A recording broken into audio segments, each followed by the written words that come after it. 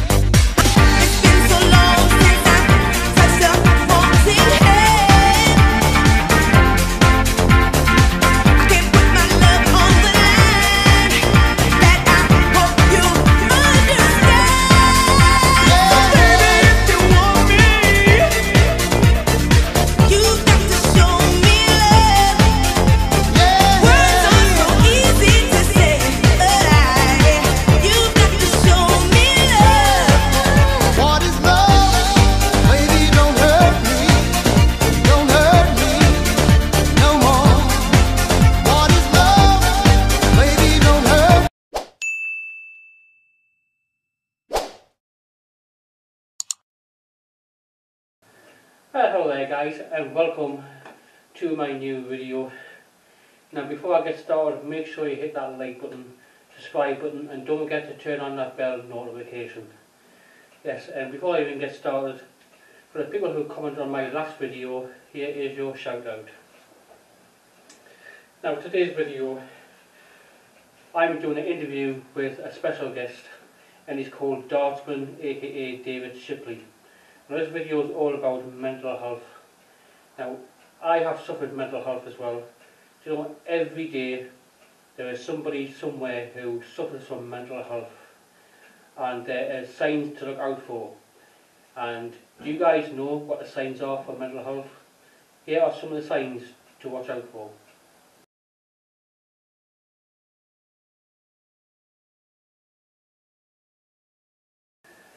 Yeah, in my local area in Newcastle, there's always people who find a bridge and are trying to jump off it. In the past couple of months, there has been a couple of people who have jumped, and sadly, they have passed away. Now, in suicides and mental health, not a lot of people talk about it, especially for the males. Males do not really speak up about it, and we need to make more people speak out and get help. And this is a hard thing to do. And this is what why one of the interviews I'm doing with David, he has suffered mental health for a long, long time, and I'll be doing a few questions to him uh, via messenger because we were going to do it like in here, but I think it's best with everything going on with the COVID-19 virus, everything that we did on messenger. But yeah, I don't know if you guys remember almost two years ago if you have been on my on my channels that I have suffered mental health with uh, depression a couple of years ago. And I want to talk about this for, for a minute because I suffered quite a bit and not many people knew this. There's a few people who knew this. Um, one day I found my best friend dead on the sofa and that really got to me so much. I go as normal to have a cup of coffee at his. He lives a few floors up for me because I live in a block of flats. And uh, at first I thought he was asleep. Yeah, I had found him dead, lying on the sofa. He had this like stuff coming out of his mouth, and that was the biggest shock for me. I couldn't get that out of my mind. That really, you know, I sobbed my heart out control uncontrollably, and that led to me doing. I was on depression tablets, and then I was on I took all sorts, you know what I mean? And uh, I did try taking overdose because of that. And um, which to me at the time it's hard because you, your mind overthinks and getting that out of your mind is uh, quite hard to do. Um, but I don't know if you guys remember, I was in hospital for like a, few days and one of my fans actually made a video for me trying to uh, make awareness of it and he even set up a GoFundMe account for it to try and get me a break but I told him to take it down. Um, I didn't want the pity, you know what I mean, but you know, I, don't know if you guys have been to any mental health or depression or anything, but if you know that you find it's a very, very hard thing to talk about. And for me, when I, when I did that overdose, you know, people were telling me that, uh, oh, you're a silly boy, you should have done that and everything. But you know what? People can call me silly boys all around, but unless you've actually been there, you don't know what a person's going to do, you know. So if you guys can't remember this video, I had this video on my channel as well, but I can't remember if I, I'm sure I took it down though, you know, because it was a bit sad. But uh, if you guys can't remember the video what my friend did for me, Dylan, here is a reminder of that video.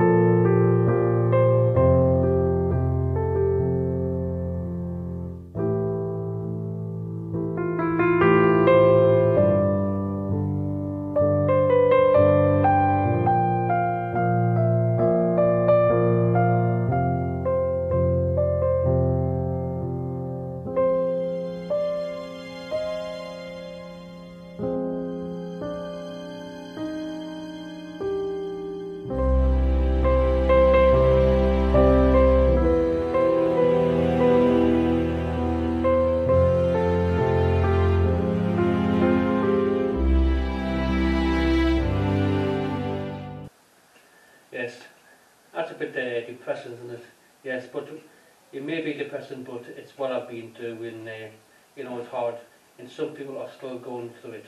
So I just thought I'd make this video because I want people to make aware that there is help out there. You know, there is Samaritans who you can talk to, there's friends you can talk to, and all sorts. But for me, I didn't, I didn't feel that I had nobody around me at the time. You know, because my best mate just died, who uh, I'm with all the time and that was the hardest thing ever to do. Yeah, so I decided to do this video and just uh, interview one of my friends who's actually going through mental health. I think he's gone through it for about 11 years. Question for you guys, have you guys ever suffered from mental health or do you, do you know anybody who's been through it? And if you do, you know how hard it is. Now the biggest thing for me, finding my, my best mate down the sofa is I didn't know what to do. You know what I mean? Got the biggest shock of my life you know what I mean? I sat there for about 20 minutes before I even rang anybody. Just trying to put through my head what was going on. You know, almost two years and I'm, I still miss him like crazy. You know, I mean, it's absolutely hard. But yeah, so, you know, just, it's hard to go through. Yeah, when you see posts on social media now where there's a, people attempting to jump off bridge and everything, you see comments when they're saying, oh God, just another attention seeker and all that. So now what people who make comments like that are just crazy. You know what I mean? How can you call them attention seekers? Unless you know what is going on in somebody's mind, you just don't have a clue.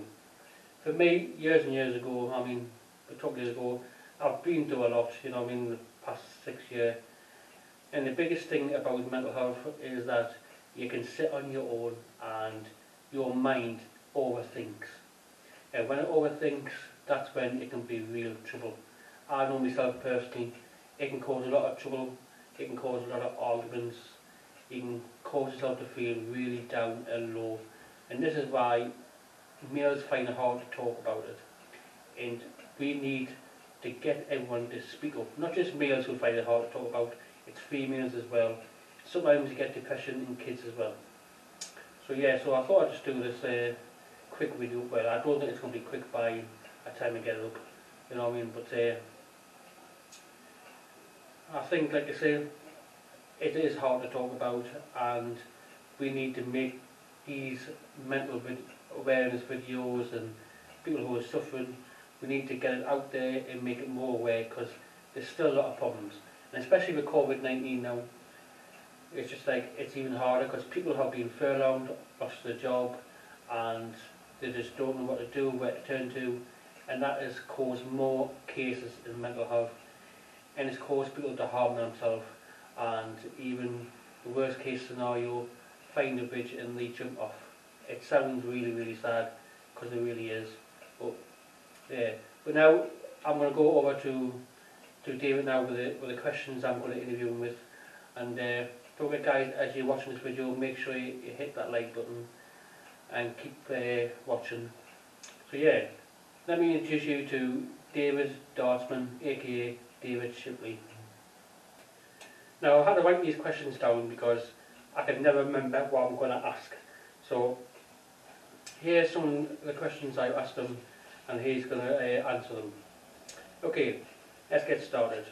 Thank you for agreeing to do this interview, David. How are you doing today and how are you feeling? Hi Steven, yes, good, thank you. I know you have suffered with mental health a while, David. Can I ask how long have you suffered with your health and when did you realise something was wrong? Um, well, this all started back in 2009 when I worked up Netto in uh, Newcastle. Um, the reasons for the mental health was just basically, um, obviously due to um, failures in the work environment, and obviously I was being, you know, ridiculed for me speed of work. Um, mostly, I think it was down to you know customers being you know really abusive and obviously you know not having a clue about autism and mental health. And a couple of lads who I worked with at um, Netto as well. Um, well, one of them wasn't as bad, but one of them was you know was in the army, and obviously you know he has a tone of voice where it just really got dragged me down and and obviously it wasn't healthy working with him. Um, but yeah, there were loads of failures at work, and obviously it's now 11 years, and obviously I've been permanently damaged with autism and mental health. But what can you do? When you are feeling low, how do you pick yourself back up? And is there anything you could advise people on what to do if you are feeling low right now, David? Well, um, I would say probably keep yourself busy as much as you can. Enjoy doing what you do. It's like me, I do my video blogs to help me cope whenever I'm down, or most of the time if I'm alright. Um, but there are plenty of organisations where you can talk to as well, like the Samaritans, and obviously they're free now to talk on the phone. So if you dial 116123, that's now a free like landline because I know you used to have to pay for it in the past. So I recommend that, and also just do what you do and make sure you get plenty of exercise as well, and that's a good remedy. There must have been a time where you thought, I must seek help. Did you find it easy or hard to speak up, as many people don't speak up now? I normally find things like that um, a little hard to, to admit to needing help. Um, obviously, I do tend to vent on social media or, you know, message people when, you know, they don't need to be messaged for that sort of thing. Um, I would say that organisations and obviously speaking to my counsellor is um, probably not so difficult to do because I know that I'm getting help and being put on the right track. Are you getting any help at the moment, David? And who helps you? Uh, yes, I'm getting help um, from a trained um, coach who's also a counsellor. Her name's Polly. Um, so we've been having sessions um, about five or six, sorry, no, four. So I've got another 22 sessions to go. So I've got it for the whole year, um, which is she seems to be uh, really good at, at her job, etc. Um, she just basically just you know finds out about me and and what are my challenges in life and how to progress with those challenges in a more positive way, especially with the COVID 19 that's going on, etc. If someone is watching this video, David, and is suffering with their mental health, what advice, would you say to them? Uh, I would say probably the best course of action is if your life is in danger, immediately dial 999. But if you're suffering from problems that need to be dealt with and you're unsure, the best way is to dial 111 for further help and support. And obviously contact the Samaritans as well on 116 123. As you know, David, there's a lot of suicides in Newcastle and there's a lot of jumpers off the bridge. Do you think the council should put nets under the bridges or do you think it's a waste of time? Uh, what can I say? Um, well, I mean, the, there's been numerous amounts of suicides up on the Reggie Bridge uh, in town. Um, but I think not necessarily just nets, but I would say signs as well to remind people that there are, there is help out there, regardless of you know whatever circumstances they've got themselves into or whatever is you know overwhelming and you know not uh, worth living for. But obviously there is you know help out there for people in order to convince themselves to carry on that you know life is for living. Um, but I think you know the council needs to tackle this issue a lot more often.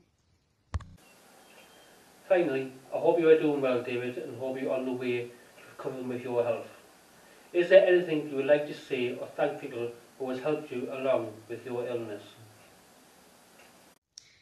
Uh, yes, um, I'd like to thank all of my viewers for following me over the past three years on Dartsman's Key Secret Life. Um, I'd like to thank my mummy and I'd like to thank Linda, Ginny. I'd like to thank everyone around North Shields who know me for keeping my strength up for me. Um, I'm okay at the moment. I'm just taking days each day as it comes. Um, thank you, Steven. It's been a pleasure. Okay, David, thank you for doing them quick questions for me. I do really appreciate you coming on to do that. Fortunately, um, it's a case where we couldn't be together and do the interview properly. We had to do it by messenger, but never mind. But yeah, guys, um, as, as I said before, mental health is a hard thing to do. I've suffered from it. I know people who have suffered from it. Now, if you haven't suffered from, suffered from it and you've got friends who are going to it or you think they're going to it, you need to get them the help as soon as possible. Because if people are quiet and they're feeling low, you know, maybe it's a sign from the start. I will put a number up on the end of this video as well for Samaritans for you to get help if you want that. Yeah, going back to where I found my best friend dead, honestly that was the hardest time for me ever. And even when I found my best mate dead, half an hour later I had to go up back to the flat where he was lying on the sofa because the police wanted me to identify his body and to me that was the hardest thing ever. I've never really spoke to anybody about this before. And going back up there and seeing him lying there when the police wanted me to identify his body I noticed the body had moved. They must have been doing something with, with his body before I went up there. And I was just the, the way the police just like interviewed me stood in the, in the doorway where the best mate Bob was just lying there. It was, it was terrible. I mean, they could have moved me into another room, but they had their back to Bob on the sofa, and I was standing there so I could see everything what was going on. I had two nurses sitting like at the window, you know what I mean? And I was standing there getting interviewed, and I was like, this is terrible. I was had a shock of my life, and I, I identified the body 30 minutes later. Um, it wasn't until I was on my own that I actually broke down in tears. I sobbed my heart out. You know, nobody around. I mean, I had a friend who was with us when I found him. Well, who I told him when I found him. Um, but I kept all my emotions in. But yeah, I mean, if you guys not experienced that before, find somebody lying dead on the sofa, sofa anywhere like that, your mind goes through some stuff, believe me. It is very hard to think what is going on, you know what I mean? And I would never wish that on anybody, you know what I mean? But even when, you know, Bob was alive, I even, we even joked on quite a few times, you know, because he liked to drink, you know what I mean? We got to the point where he was drinking. He ended up with COPD, and we even joked that one day I'm going to find him dead. What a thing to joke about, but I did find him, and that was the hardest thing to do. But yeah, but this is just a, a video just to, for awareness and just uh, say you're not alone out there who has suffered from mental health. And uh, it's a thing we all need to talk about. Like I said, especially with this COVID-19, it is just, everyone is suffering at the moment. Everyone is losing their jobs and there's people out there who find mental health so hard at the moment. It's just crazy. But it feels like I'm baffling on now, you know what I mean? But yeah. Also, I want to give a shout out to uh, to somebody who I promised I'd give him a shout out to. This is to Reese Plays. He's a YouTuber, he does gaming. And if you want to see Reese do gaming, if you're into gaming, then you can go and watch his channel. I will put a link in the description below of his channel. And this is his channel up there as well. Um, so yeah, but if you guys want a shout out in the next video, all you have to do is follow my socials and share this video and share it on your socials, either Twitter, Facebook, Instagram, and uh, screenshot share, send me a copy or send me a proof, and uh, I will guarantee to shout everybody out who, who does it. And this is where it's going to go forward. Um, I'm hoping to, to grow more. In the past couple of days I've grew a few more subs, so I'm trying to hit 600 subs. So if you guys can help me grow, and I will never forget yous, I will always shout you out whoever shares this video as well. So yeah, until the next video guys, I will see you later. And don't forget, if you're feeling low or you suffer from mental health, or you know someone's going through it, make sure you speak up and get help, even though it is quite hard to do. But there is somebody out there for you. And my sources on the end of this video, don't forget to follow me. See you later guys.